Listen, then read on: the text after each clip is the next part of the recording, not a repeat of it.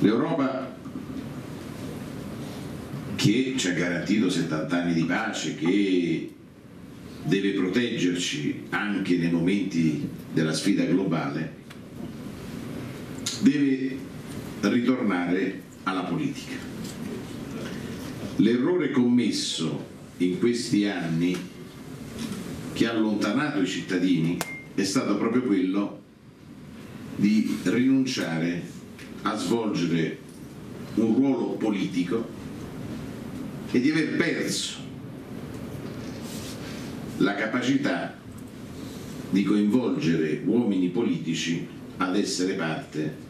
del progetto europeo. Ieri ho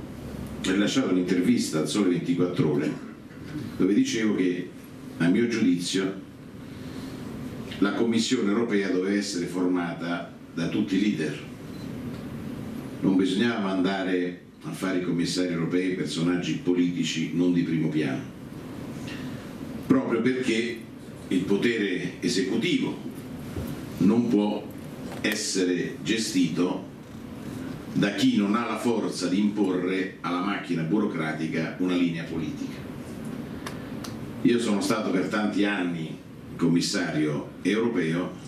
e la cosa che più di ogni altra mi infastidiva è quando prima di ogni riunione mi arrivava dalla direzione generale la cartellina con scritto sopra line to take, linea da tenere. Veramente gli risposi la linea da tenere la dico io, non è che lo dice la macchina burocratica, per la quale nutro rispetto per le capacità, per carità, ma la macchina burocratica deve applicare le decisioni politiche. Però la colpa di ciò che è accaduto, di ciò che accade troppo spesso a causa di una perdita del, della presenza della politica ha fatto allontanare i cittadini dalle istituzioni perché la burocrazia, lo diceva anche nell'incontro di Roma dove abbiamo presentato il vostro eh, manifesto, applica le regole in maniera autoreferenziale, cioè l'obiettivo è quello di far rispettare le regole qualunque si siano perché la verità è quella che dice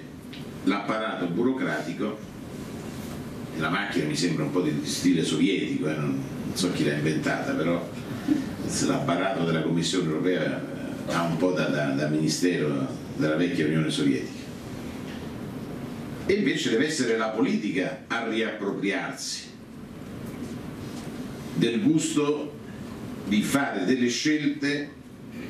che dimostrino il coraggio dell'Europa e l'importanza dell'Europa. Purtroppo abbiamo politici anche in Italia che guardano soltanto alla vicenda nazionale, senza rendersi conto che la maggior parte delle decisioni che vengono prese vengono prese a Bruxelles. Quindi di fatto rinunciando ad una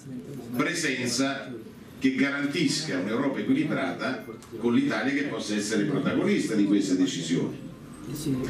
Quando vedo anche in questa campagna elettorale molti leader che guidano le liste dei loro partiti, sapendo già che non andranno a fare i parlamentari europei,